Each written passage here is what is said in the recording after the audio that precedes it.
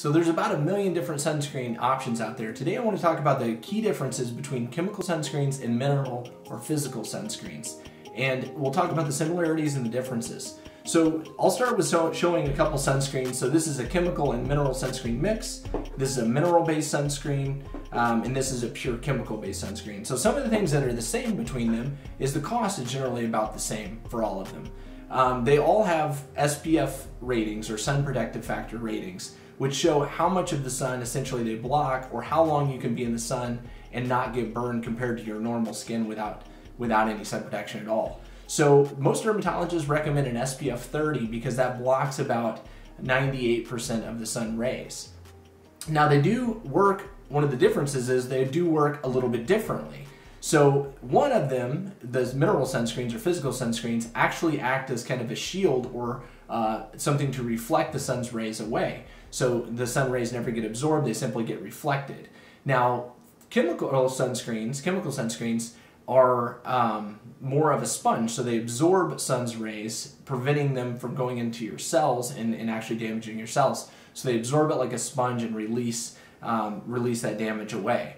So that's uh, two of the key differences. Now they accomplish this by different things. So the uh, mineral-based sunscreens like zinc oxide and titanium dioxide are the ingredients with a very broad range of photo protection or sun protection. So they block a lot of the UV rays that we see. And if you're using a tinted sunscreen, it even blocks um, visible light like we see in from our computer monitors, from overhead lighting in our offices and such like that. Another big difference is that mineral sunscreens are immediately effective. That means the moment you put it on, you can go in the sun and have photo protection.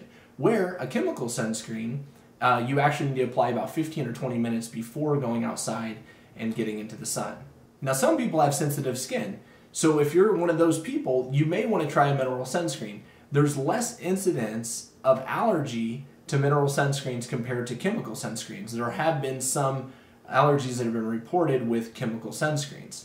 Now, chemical sunscreens are made up of a few different uh, ingredients like avobenzone, oxybenzone, homosalate, and such. So usually chemical sunscreens ingredient list of active ingredients would be a bit longer than that of a mineral sunscreen, which usually is just zinc or titanium.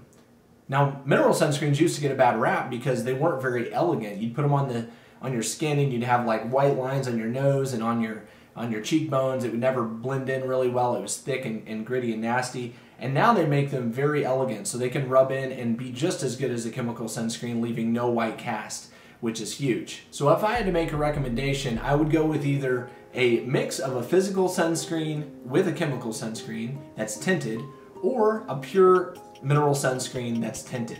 So you, you get those benefits of protecting from all the UV lights along with lights in our offices and things that we encounter every day.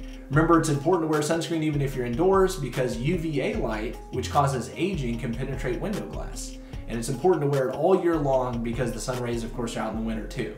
So even if you're not out on the beach, it's a great idea to wear sunscreen all year round. So I hope that's cleared up some of the differences between chemical and mineral sunscreens. I hope the video's helped you, and if it has, feel free to like and subscribe. If you got further questions, ask them in the comments below. Check out my other videos. Let's help you get your best skin. Thanks so much for watching.